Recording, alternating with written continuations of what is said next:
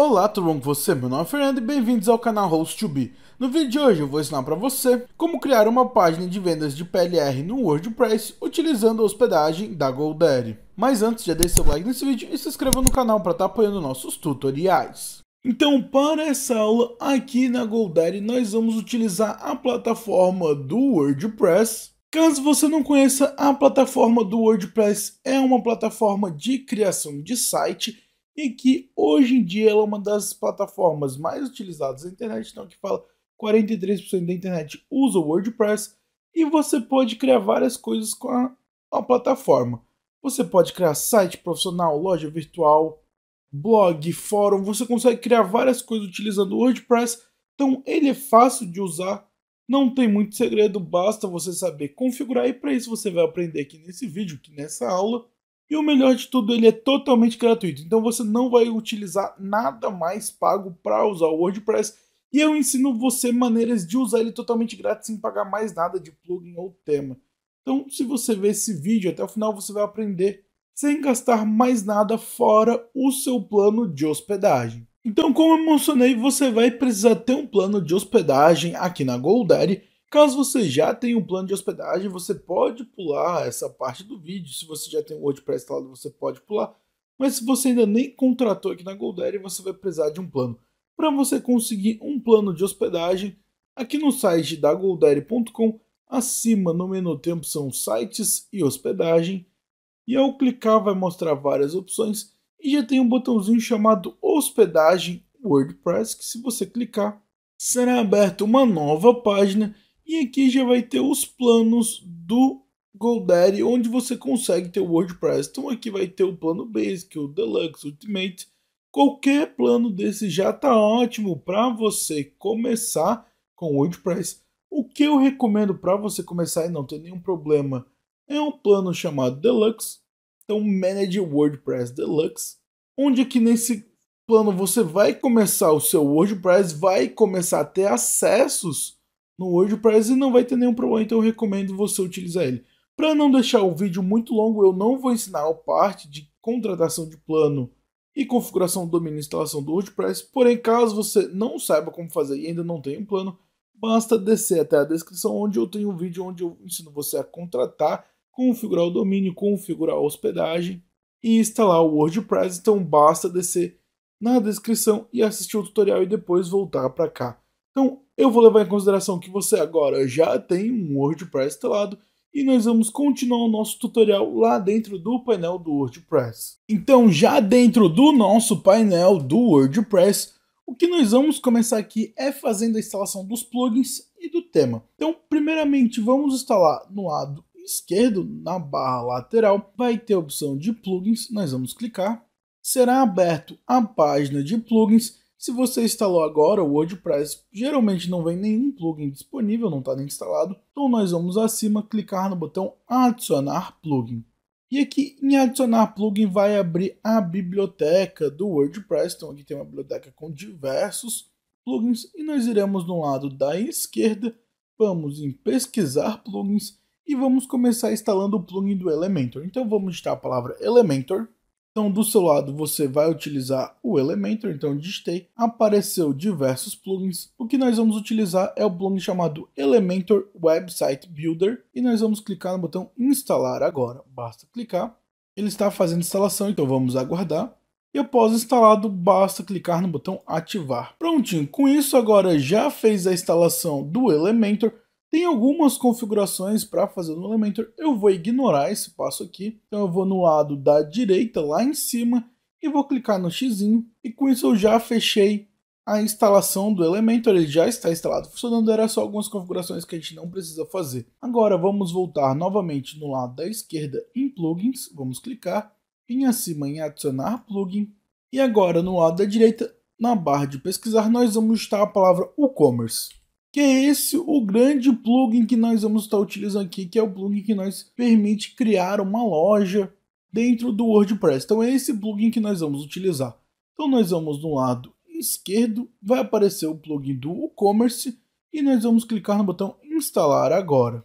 E após instalar, basta clicar no botão ativar. Com isso vai abrir a página chamada Welcome to Who. E vamos clicar no botão agora escrito Setup My Store. Então vamos lá configurar minha loja, vou clicar. Aqui ele vai perguntar o que nós estamos fazendo, ou o que melhor descreve a gente. Tem opção, estou apenas começando meus negócios, já estou vendendo, estou montando uma loja para um cliente. Eu vou selecionar a primeira opção, clicar em continuar. E agora ele vai pedir um pouco mais de informação sobre a nossa loja. Você pode colocar o nome da sua loja, então você pode colocar o nome que desejar. Eu vou deixar o padrão site tutorial que eu uso aqui nos vídeos. Você pode colocar o nome que preferir. E aqui abaixo fala que você não tem que se preocupar que isso pode ser alterado mais tarde, então você pode alterar o nome da sua loja depois tranquilamente.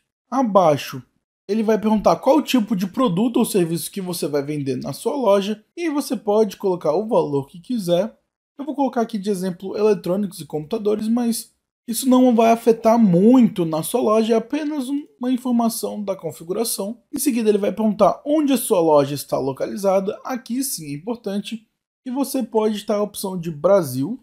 E vai ter os estados e você vai escolher o estado onde você mora. Eu vou colocar aqui Santa Catarina. E do seu lado você pode colocar São Paulo, pode colocar a informação que desejar. E abaixo clicar em continuar. Na página seguinte, ele vai pedir para você instalar alguns plugins que ele recomenda. Então, por exemplo, o plugin do Jetpack, o plugin do Maypost, o plugin de campanhas do TikTok, o plugin do Pinterest, o plugin do Google. O que eu vou fazer é desmarcar todos. Eu não recomendo instalar nada junto com outro plugin. Recomendo que você, se quiser instalar qualquer outro plugin desse, faça depois separadamente e a configuração fica melhor ainda. Então depois de desmarcar tudo, vamos clicar abaixo continuar e agora vamos aguardar enquanto ele está configurando. Agora será então aberto a página do e-commerce e essa é a página inicial, ele já mostra algumas coisas para você fazer. Então aqui ele fala para você adicionar produtos, para você escolher um tema, definir os pagamentos, adicionar as taxas, adicionar o sistema de entrega e também a dica para obter mais vendas e tem mais algumas outras recomendações que você pode fazer. Aqui o que nós vamos fazer? Nós vamos primeiramente definir os pagamentos, então agora a gente já tem um elemento, que é o que nós vamos utilizar para criar nossa página inicial. Já temos o e-commerce, que é o que a gente utiliza para criar a nossa loja. E agora nós vamos definir o sistema de pagamento e depois aí vamos para o tema e criar a nossa página inicial. E aqui para esse vídeo nós vamos utilizar o método de pagamento do Mercado Pago. Caso você prefira usar algum outro como PagSeguro, Pagar-me ou qualquer gateway de pagamento, você pode utilizar, basta ver algum tutorial e pular a parte do Mercado Pago. Então aqui o que nós vamos fazer é vir então no lado esquerdo, novamente abaixo lá na opção de plugins, e aqui em plugins vamos clicar no botão adicionar plugin. Será então aberto a página de biblioteca dos plugins do WordPress. Agora nós iremos no lado da direita na barra de pesquisar plugins. Nós vamos clicar e aqui nós iremos digitar Mercado Pago. Ao pesquisar, então ele vai mostrar diversos plugins da biblioteca disponível e no começo ele já vai aparecer Mercado Pago para o e-commerce e você pode ver que ele é direto pelo próprio Mercado Pago. Então, esse plugin aqui, você vai clicar no botão instalar agora. Basta clicar. Prontinho, o plugin já foi instalado e você irá clicar no botão ativar. Feito isso, agora o plugin do Mercado Pago já foi ativo corretamente no seu e-commerce, no seu WordPress e agora você precisa configurar ele. Para configurar, nós iremos no lado esquerdo no menu lateral, vamos vir aqui na opção do WooCommerce. Então você vai colocar o mouse em cima do Commerce, vai aparecer um submenu na direita e como último botão vai estar escrito Mercado Pago. Nós iremos então clicar. Será então aberto na página de configuração do Mercado Pago e aqui nós vamos ter as quatro configurações que nós precisamos fazer no nosso WordPress. O primeiro é integre a loja com o Mercado Pago. Então, para você integrar, você vai clicar e ao clicar será aberto o campo para você preencher as credenciais de produção. Para você ter essas credenciais, basta acessar a conta do Mercado Pago e já tem um botão de atalho escrito consultar credenciais. Então basta clicar nesse botão E ao clicar, ele já vai abrir a aba de credenciais. Então aqui já vai diretamente redirecionar para a página que a gente precisa, senão a gente ia ter que acessar o Mercado Pago e acessar diversas páginas. Aqui já deixa tudo aberto certinho. E nessa página, então, vai ser a credenciais e aqui vai ter a credencial de produção, ou seja, o sistema para vender de verdade na sua loja e o credenciais de teste. Isso aqui você vai usar para conseguir fazer testes com cartão de crédito sem ele cobrar de verdade, apenas para ver se o sistema está funcionando.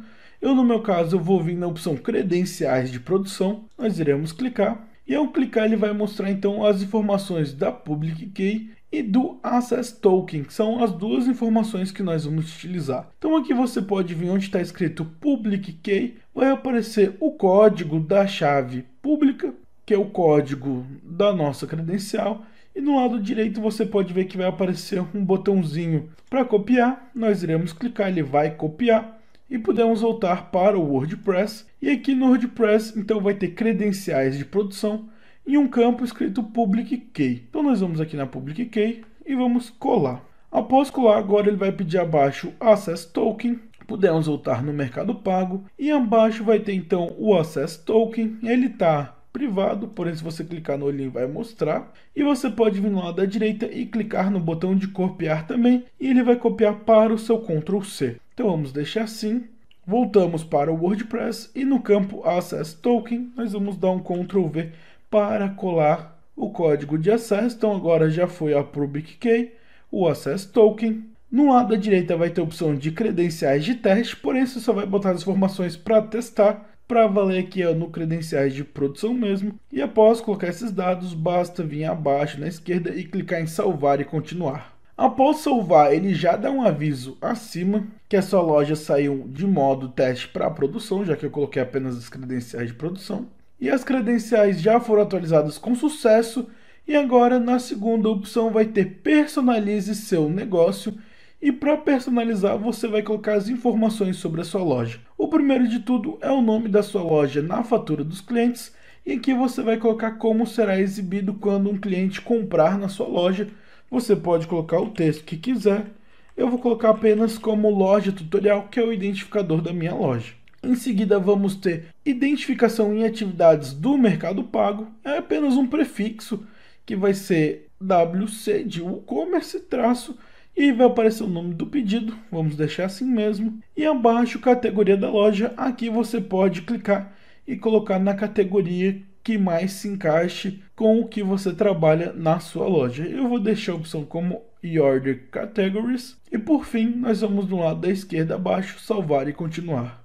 Em seguida, nós temos a opção de configure os meios de pagamento. Eu vou deixar isso por enquanto e vou pular direto para a opção 4, teste sua loja antes de vender. Aqui ele já ativou o modo de produção, porém se do seu lado ficar como modo teste, você vem, seleciona a opção modo vendas produção e clica em salvar alteração. Prontinho. Agora vai ter a opção 3, configure os meios de pagamento. Aqui ele tem essa opção que a gente pode ir direto, porém o que eu vou fazer é vir no lado da esquerda, no menu lateral e vir na opção onde está o commerce e depois no botão configurações. Será aberta a página de configurações do e-commerce já na aba geral, porém acima tem diversas abas e nós vamos na opção de pagamentos. E já na opção de pagamentos, aqui ele vai ter os tipo padrão, que é transferência bancária, cheque e pagamento entrega, todos desativado.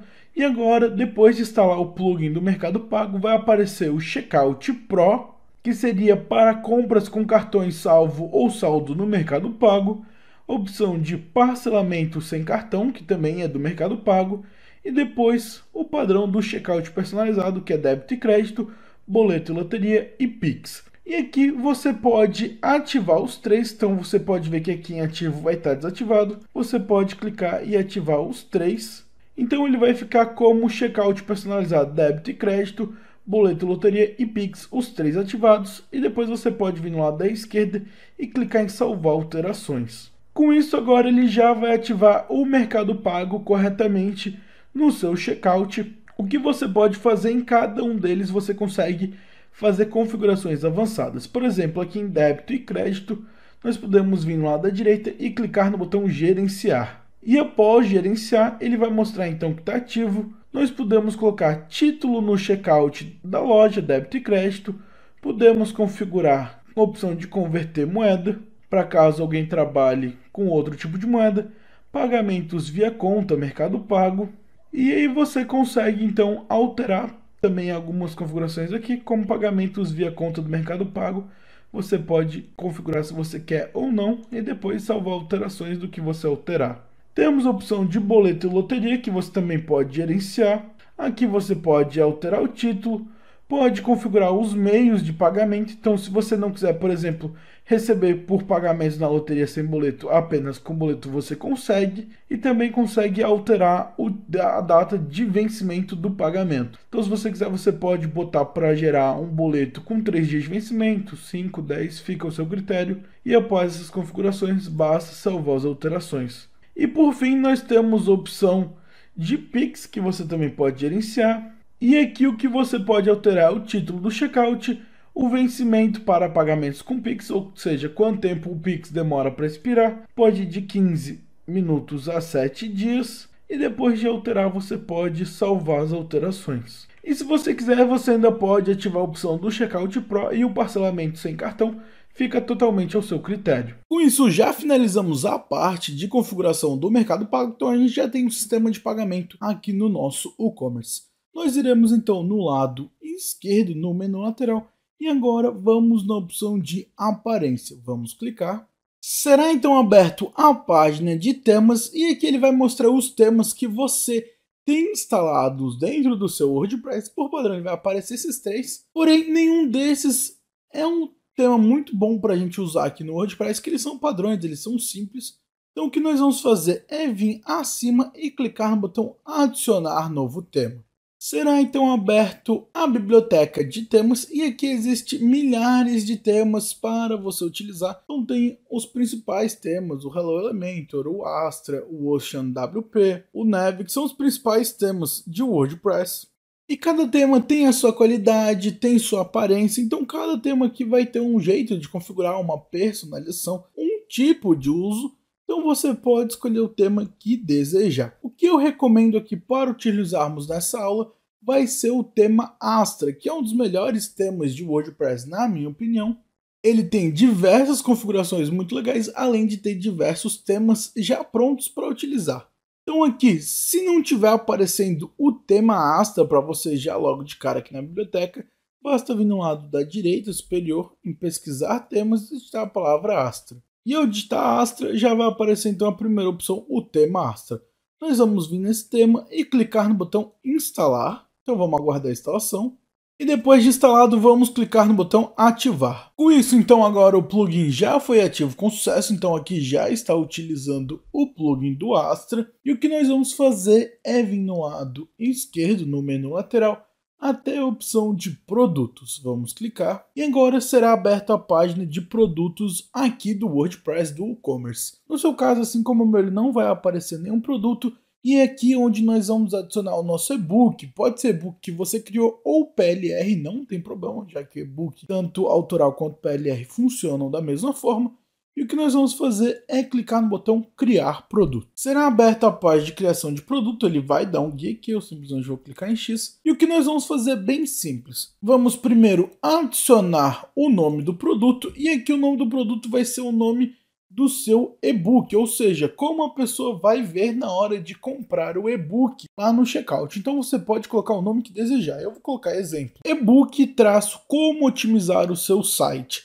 E aqui você pode só colocar como otimizar o seu site, no caso o nome do seu e-book, ou só colocar e-book, você fica ao seu critério, você vai colocar o nome que você achar melhor. Após fazer isso, abaixo tem a opção descrição e aqui na descrição a gente não vai colocar nada, pois o cliente não vai acessar a página do produto do WordPress, e sim uma landing page nossa desse e-book, desse PLR para ele comprar. Então ele não vai ter acesso, então na descrição você pode colocar nada. Abaixo você vai vir na opção dados do produto, aqui nós vamos deixar como produto simples. Em seguida vamos marcar a opção de virtual e vamos marcar a opção de baixável. Com isso agora vai ter alguns campos para a gente configurar. Primeiro é o preço, e você vai colocar o preço desse e-book. Eu vou colocar, por exemplo, 29,99. Você coloca o preço que você achar melhor, o preço justo do seu e-book, então você vai colocar. Abaixo tem a opção de preço promocional, não vamos mexer com isso, pois a promoção a gente pode colocar lá na nossa landing page. Em seguida vai ter a opção de arquivos baixáveis. E aqui é onde você vai adicionar o seu e-book. Então você vai clicar em adicionar arquivo, ele vai pedir o nome do arquivo, aí você pode colocar o nome que quiser. Eu vou colocar o mesmo nome do título do produto, então e-book traz como otimizar o seu site. No lado da direita vai ter o URL do arquivo, o que a gente vai fazer é vir no lado aqui mais à direita e clicar no botão escolher arquivo. Será aberta a opção de biblioteca e vai ser aqui onde nós vamos colocar o arquivo do nosso e-book em PDF e ele fala que no meu caso, no meu site, tamanho máximo de upload de 2 GB, então a gente pode subir um arquivo de até 2 GB. Então nós vamos subir o nosso PDF, então eu vou aqui no meu computador, segurar o PDF e arrastar ou clicar no botão selecionar arquivo e prontinho, agora ele adicionou o arquivo. Então como otimizar o seu site, traço ele colocou um código PDF. Então aqui já está o arquivo do nosso e-book. Em seguida eu vou vir no lado da direita e clicar inserir a URL do produto. Então agora inseriu. Então a pessoa vai comprar esse produto pelo preço de R$ 29,90 e ela vai ter acesso pelo nosso com e-mail e senha de cadastro dela com o arquivo chamado ebook e ele vai fazer download nessa URL. Em seguida a gente tem a opção de limite de downloads, você pode deixar ilimitado, então pode não configurar nada, então a pessoa pode baixar várias vezes, quantas vezes ela quiser, ou você pode colocar apenas uma vez, então a pessoa vai poder baixar apenas uma única vez, ou colocar o valor que quiser, por exemplo, ela pode baixar até cinco vezes, fica o seu critério, eu vou deixar como limitado, e tem a opção de validade. Caso você queira, por exemplo, colocar que ela tem apenas 30 dias de validade para fazer o download desse arquivo, você pode colocar 30 dias. Fica o seu critério. Se você deixar em branco, ele vai ficar como nunca não tem validade. Após fazer isso, se você quiser, você pode vir no lado da direita na opção imagem do produto, vem definir imagem do produto. Ele vai abrir a biblioteca e você pode subir uma imagem desse produto. Então eu já subi uma imagem aqui de exemplo do meu e-book e vou no lado da direita definir imagem do produto. Prontinho, ele agora definiu. Então a gente configurou o título desse e-book, então desse PLR, por exemplo, como otimizar o seu site, colocamos o preço do produto e colocamos o arquivo baixável do e-book. Com isso agora todas as outras configurações não precisam ser feitas, você pode só ignorar e vir no lado da direita e clicar no botão publicar. Prontinho, já está publicado. Aqui ele vai mostrar o link do produto, então a gente, por exemplo, pode acessar. Será então aberto a página do produto do nosso e-book, então vai ter a imagem que a gente definiu, o texto que a gente definiu, o preço e o botão de comprar. Porém, os nossos clientes não vão ver essa página, eles não vão ter acesso a essa página apenas a landing page onde nós vamos estar vendendo aqui esse e-book, esse PLR. Numa loja normal, o que uma pessoa faria? Acessaria essa página, clicaria no botão comprar, seria adicionada ao carrinho, ela vai ver o carrinho, vai aparecer aqui o carrinho e depois ela vai continuar para a finalização de compra e aí vai para o checkout para poder fazer a compra dela aqui do seu e-book. Porém, nós vamos pular todo esse passo nós vamos vir apenas diretamente para o checkout. Então o que nós vamos fazer é voltar no WordPress. Eu vou acessar aqui o painel para a gente continuar do painel. Então nosso painel já está aberto. Vamos instalar um novo plugin. Então vamos lá da esquerda, vir abaixo na opção de plugins. Vamos acima adicionar plugin e agora no lado da direita em pesquisar plugin nós vamos digitar a palavra direct em inglês. Então ao digitar a palavra direct apareceu um plugin chamado Direct Checkout for WooCommerce, ou seja, vai ser um plugin para ir direto para o checkout, ou seja, para a pessoa finalizar a compra. Então nós vamos clicar no botão instalar agora esse plugin e depois de instalado basta ativar. Agora o plugin já está ativo com sucesso, então aqui ó, o Commerce Direct Checkout. Nós vamos no lado da esquerda aqui na opção do Commerce e colocar o mouse em cima vai abrir o menu da direita e vai ter um botão escrito finalização direta, vamos clicar, e será redirecionado para a página desse plugin. Então nós vamos configurar aqui alerta de adicionar o carrinho não, Add to Cart Link in Shop não, adicionar ao carrinho redireciona. Nós vamos colocar aqui sim, e ele vai perguntar redirecionar ao carrinho para. Nós vamos vir onde está escrito carrinho e alterar para a palavra checkout. E aqui abaixo replace cart URL vamos deixar como não. Então vamos deixar como não, apenas adicionar o carrinho redireciona sim e adicionar o carrinho adiciona para checkout. Feito isso, vamos clicar no botão salvar alterações. Prontinho, salvo com sucesso e eu vou demonstrar para você o que a gente alterou. Eu vou vir em produtos, vou deixar aqui meu produto, vou vir em ver o produto e aqui no produto agora, se eu vir aqui clicar no botão comprar, ele já vai redirecionar direto para o checkout. E aqui você pode ver que ele mostrou que foi adicionado ao carrinho, a gente consegue remover isso depois, ele ainda continua dando esse aviso, a gente vai conseguir remover. E que você pode ver que nos produtos ele ficou vezes 2 do meu produto, mas é porque como eu já estava acessando essa página, ele usou os cookies da página, então acabou acontecendo esse bug de ficar vezes 2 com o valor duplicado, mas você pode ignorar que isso não vai acontecer para o seu cliente. E o que nós vamos fazer agora é criar o URL para adicionar esse produto direto no carrinho sem precisar passar na página do produto. Então nós vamos voltar para a nossa página de produto e aqui no produto você pode ver que no seu e-book, né, seu PLR, ao colocar o mouse em cima vai aparecer começo aqui uma ID.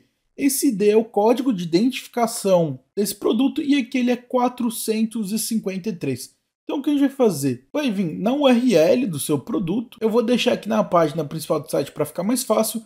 Você vai colocar o seu domínio. Depois de colocar o domínio, você vai digitar barra, vai digitar barra, em seguida vai colocar um ponto de interrogação, um ponto de interrogação e agora vai digitar add, então as letras add, então add, traço, to, to, traço cart. Então você vai digitar barra ponto de interrogação, add-to-cart. Em seguida, vai colocar um sinal de igual e por fim, depois do igual, você vai digitar a ID do produto, barra interrogação add to cart, o ID do seu produto. E o meu ID, como eu falei, é 453, então eu vou colocar 453. Esse é o ID do meu produto, então vai ficar domínio barra ponto de interrogação add to cart igual 153.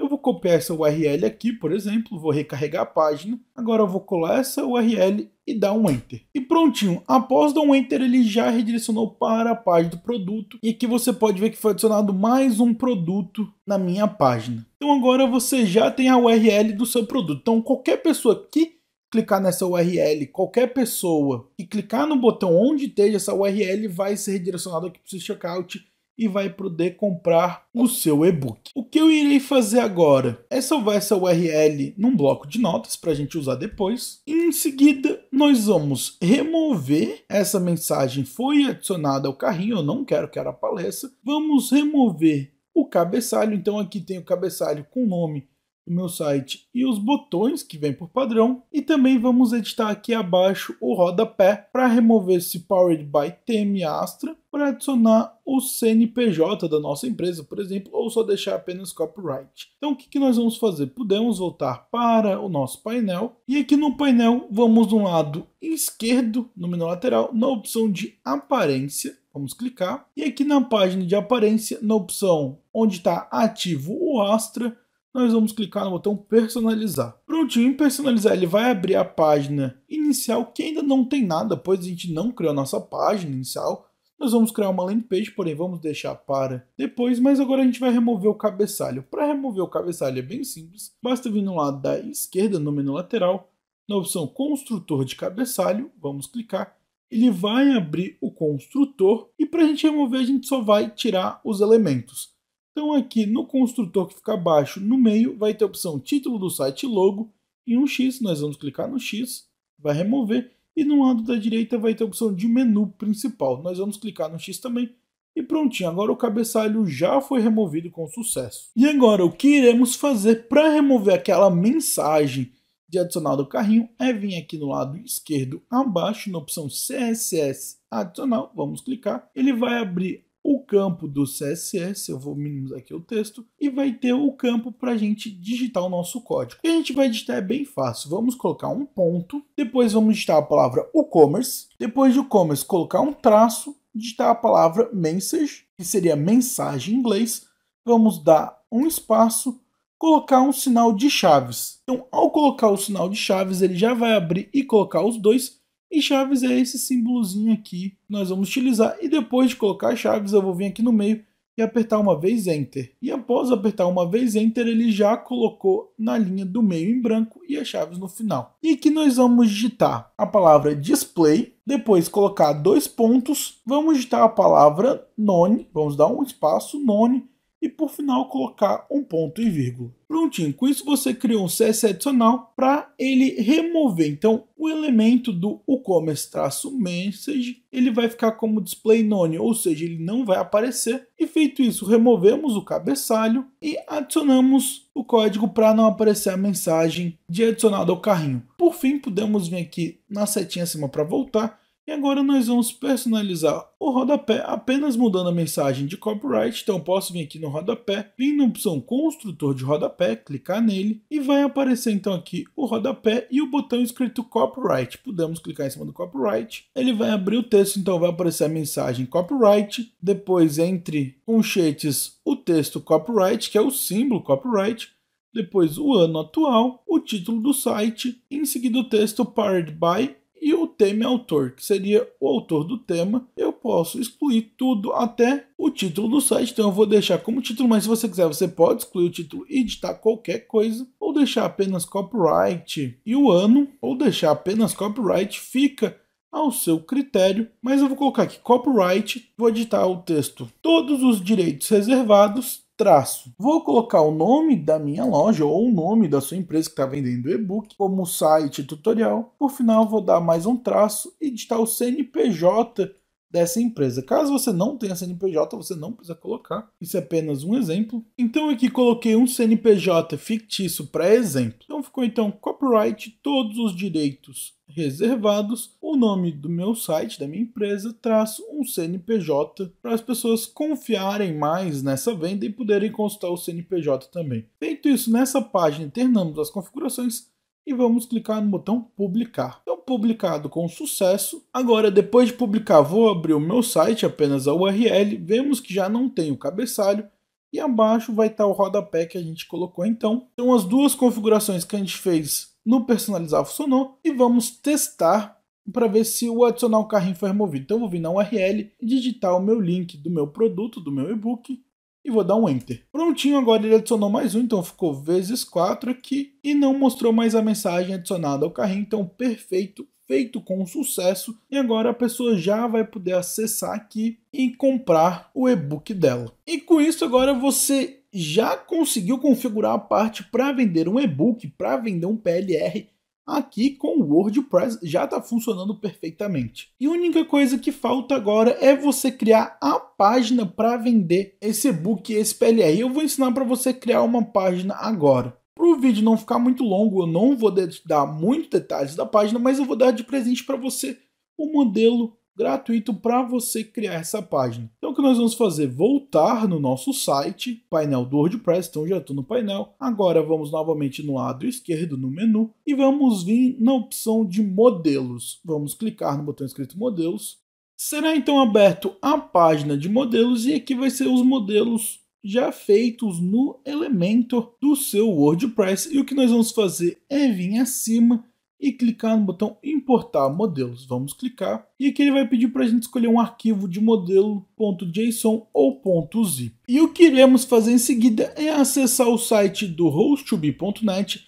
O link dessa página está na descrição, onde aqui tem um template gratuito de landing page do WordPress. E é essa landing page que você vai utilizar para vender o seu e-book, o seu PLR. Então o que nós vamos fazer é acessar essa página, lembrando o link dela está na descrição, e vamos clicar no botão Download Land Page, vamos clicar, e será feito o download de um arquivo chamado land-page-wordpress.zip, que é um modelo, ele tem apenas 5 KB, que é o modelo do WordPress. Vamos voltar aqui para o Elementor e na opção para você escolher um arquivo .zip ou .json, você vai vir escolher arquivo, ou vir na barra de download e arrastar esse arquivo até a opção do botão escolher arquivo. Vamos soltar e ele vai adicionar então aqui o arquivo desejado e vamos clicar no botão importar agora. Ele vai dar uma mensagem de JSON, nós vamos clicar em continuar e depois ele vai pedir para permitir envio de arquivo sem filtrar, vamos clicar em habilitar e importar e vamos aguardar a importação. Prontinho, após você aguardar alguns segundos, ele atualizou a página e adicionou então a opção de Land Page, que é o nosso modelo de WordPress. E agora o que iremos fazer é criar uma página com esse modelo. Então vamos no lado esquerdo no menu lateral, na opção de páginas, vamos clicar, será aberto a aba de páginas, vai mostrar todas as páginas que você tem criado dentro do WordPress. E as páginas aqui são os padrões do e-commerce, não vamos mexer nela, vamos deixar como ela está. E agora nós vamos vir acima e clicar no botão adicionar nova página. Será aberto o editor de nova página e aqui ele vai pedir para adicionar um título.